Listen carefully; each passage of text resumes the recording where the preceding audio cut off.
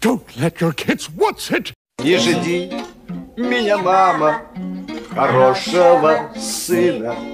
Твой сын не такой, как был вчера. Меня засосала опасная трясина. И жизнь моя вечная игра.